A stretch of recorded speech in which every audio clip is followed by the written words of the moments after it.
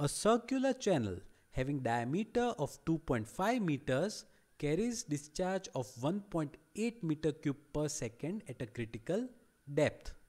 Find the critical depth of flow. Now, the critical flow condition is q square divided by g equal to a cube divided by t. On substituting the equations of area and top width, we can get an equation of this form. This equation is the non-dimensional representation of the above equation. We will make use of this equation to obtain the critical depth. Now let us start. Diameter of the circular channel is 2.5 meters.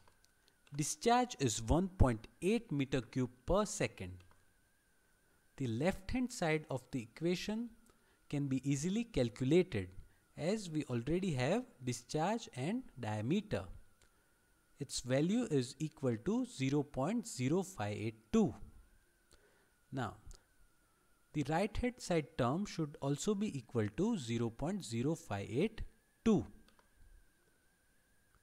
Now, we will make use of solver to obtain uh, the correct value of theta okay and once we obtain the value of theta then we can uh, use this equation to obtain the value of critical depth. Data solver set objective. This cell should be equal to 0.0582 by changing variable cell angle theta. Okay.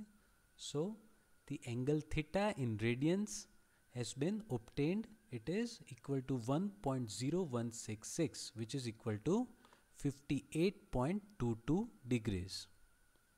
Okay which is half of this.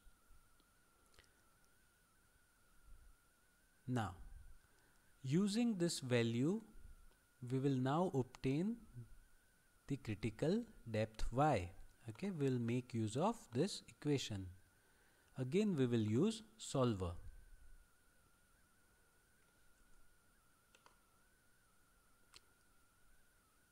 Solver set objective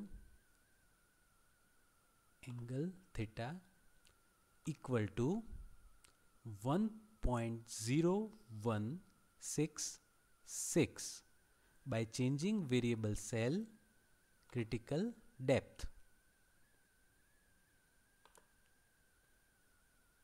So the critical depth has been obtained. It is equal to 0.5922 meters. Okay, so we have obtained the critical depth. Now using these equations we can also calculate the wetted area, top width and we can also check whether the flow is critical or not. Okay, in this case Froude number is equal to 1 which means it is critical.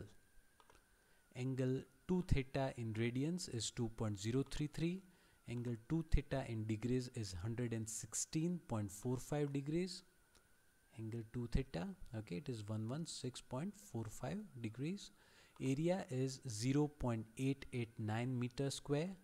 Top width is 2.126 and Froude number is 1